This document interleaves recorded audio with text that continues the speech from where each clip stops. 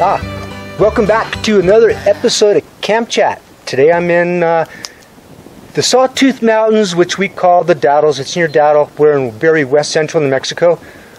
In one of our favorite camping spots. We come here a lot. I've done a couple of camp chats from this spot here. Uh, we've done uh, some uh, cooking videos from here also. We've done a lot of a lot of filming here, so we have a, a lot of history here. And uh, I'm here with my good friends. Well, my co-host Matt. He's on been on just about every camp chat that we have, and uh, my good friend Ruben, who has also been on a couple of episodes of Camp Chat several years back. But uh, so he's not a newbie to the group. We're glad to have him back with us.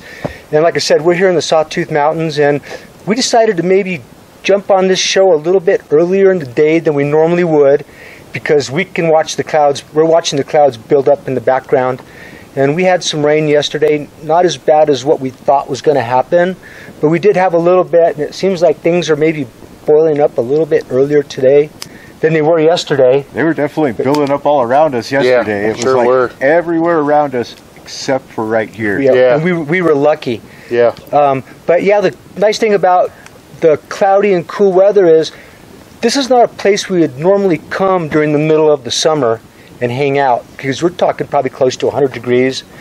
And uh, it's a little bit warm, but because of the cloud cover, I think it got up to what about 75 yesterday. Yeah, it was no, And it was- no it higher got- than 75. Right, it was Yeah. beautiful, and last night was perfect sleeping weather, 59 or 58, something like that. Felt great. Could, couldn't really ask for much more. No, absolutely not. You know, um, well, you know, me and Matt have been coming up here, and I know Matt's father is the one who introduced him to this area. But what's your history with this area, Ruben? So I first started coming up here uh, when I was probably about 15, 16 years old. Uh, Matt's dad took us up here for the first time, and Okay, here I am, you know, 42 years old, and so I've been coming up here for almost 20 years. still and coming back. it's just a beautiful area.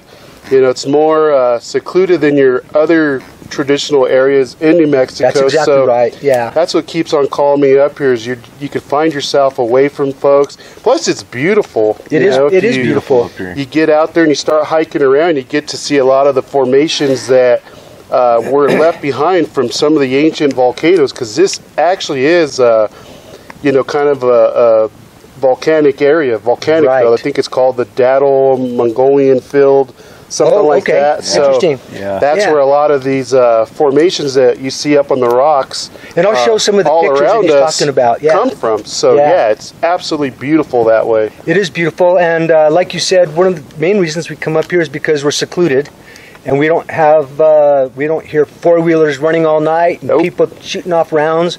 It, it's really nice and quiet, and there is a lot of wildlife in There's, here. there's a lot of wildlife. I've lot of seen, I've seen a lot of elk and deer tracks in my little bit of walking around. And last year, when Matt and I came in with uh, James and Terry, we saw more elk than we could ever count. Yeah, It was just a Yeah. huge There amount of them. at least a hundred head that Oh, uh, easily. were all together. The sun was going down. It was getting dark, so we couldn't really capture it well on camera. But we all were there seeing it. We all saw elk just scatter Yeah. all into the forest. And Yeah. It was amazing. Yeah, great And- area to see elk. Yeah. And, great and, area. And not only the elk are up here, but years ago, 20 years ago, this was a wolf introduction area where they tried to restart the population of wolves. And we've Mexican never. wolves. Right. Yeah. And, and we've never seen them actually, but a couple of years ago when Matt and I were up here, we were out walking around and I was walking through an arroyo and saw what were obvious some extremely large canine tracks, and I, those had to have been wolf tracks. sure, sure. But they're, they're super elusive and quiet, and they don't want anything to do with people, you know. So uh, we haven't had the opportunity to, to see a wolf, although it would be really cool. I think it'd be absolutely awesome to see a wolf. Right. Yeah, I know. I've I've hiked up over this way, and there's a pass that we like to go and take a traditional hike to. And one time when I was out here on an elk hunt, you know, I was kind of combing through that area looking for any elk, and I actually saw cougar prints.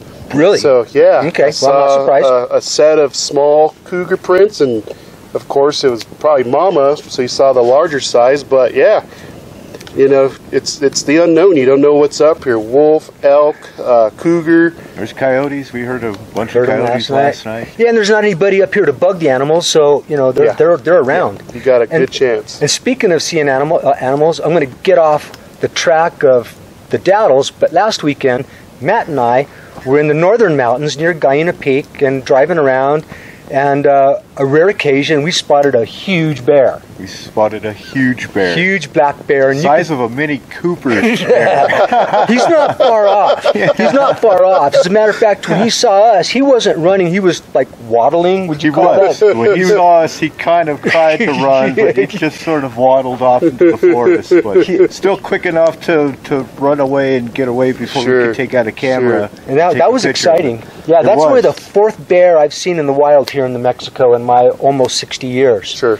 And uh, but we saw a ton of elk, Oh, a lot of deer, yeah, wild another, turkey. Another hundred elk, like 30 seconds after we saw the bear. Yeah. Followed by deer, Deer. followed by turkey, and yeah, we think that because the forest has been closed for the last couple months because of the fire season and the and the forest fire restrictions.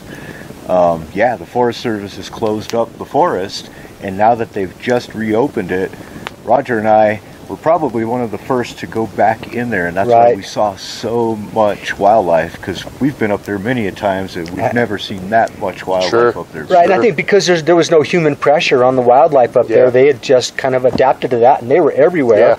And uh, we came in, and that was so that was a fun trip. it was Um, I just had to go back to that for a minute. Yeah. it rained so much. I wanted to do a camp chat at that point, but it was nonstop rain, or it looked like it could rain at any moment. So I didn't want to uh, break out the cameras. and- Glad, glad and- we're getting it. Glad yeah, we're getting it. yeah, no doubt. Not On- complaining about the rain. Yeah. Happy to have it. We need it. We'll probably get more today, and that's again that's the reason why we decided to start up a little birdie, a little bit early. But we're having a breakfast beer, Yeah. and uh, I want to cheers you guys for Yeah. a Cheers, great guys. a great camping trip and coming out and hanging out with me. Appreciate it. Um, yeah, time for a drink. Yeah. So uh, I would recommend if you if you like to get out, not be around any people. This is this is a good area to come. I, I hate to give away our good camping spots. Yeah, You know, not going to give away this particular spot, Right. but uh, we, yeah. we are in the Datils, and Da- uh, you can look at it on a Mountains, calendar. Saw- and Sawtooth Mountains in the Cibola National Forest. It is in the Magdalena Ranger District of the Cibola National Forest. right. Um, yeah, check out their website. It's out there.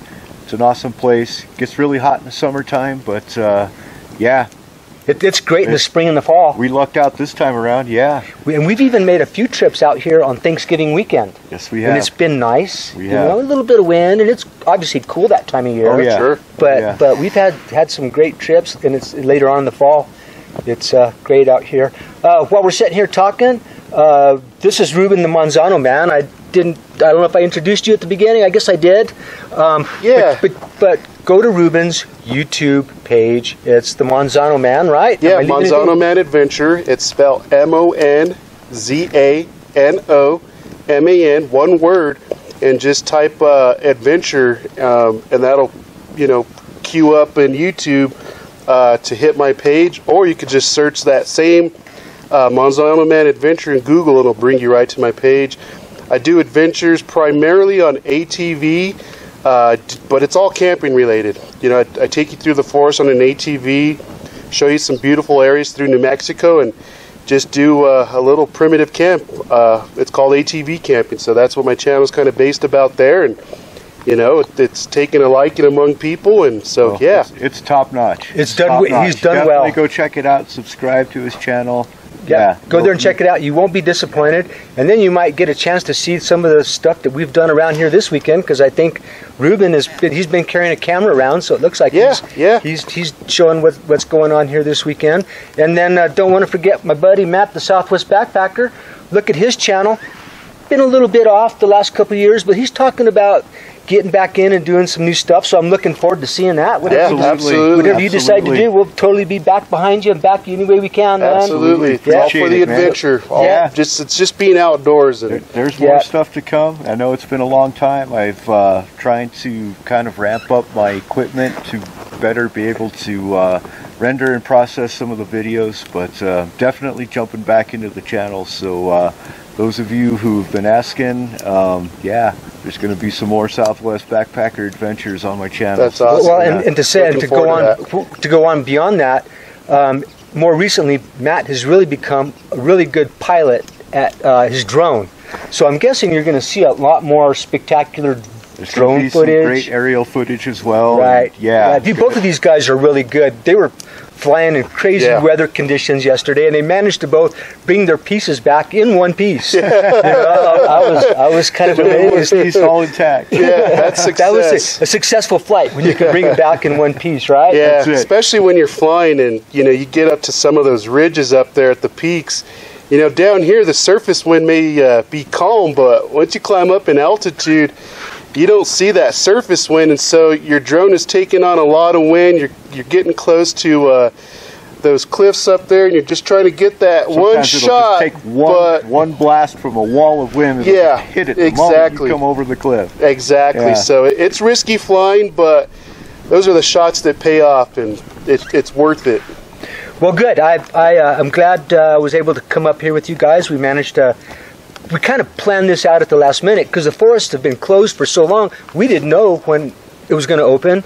Luckily for us, the monsoons have kicked in, and so they opened up the forest. So the three of us who were all outdoor guys jumped at the chance to Oh, get out. yeah, absolutely. Jumped at the chance and get out. We've been kind of sitting around waiting for this moment. So I think we're going to end this, but I want to thank you guys a lot for, for joining me and for being good friends Yeah, and hanging I out. appreciate you having me on, and Be great sure, guys. Be sure and go to Ruben's. here. Be sure and go to Ruben's channel and check it out. You will not be disappointed. Yeah.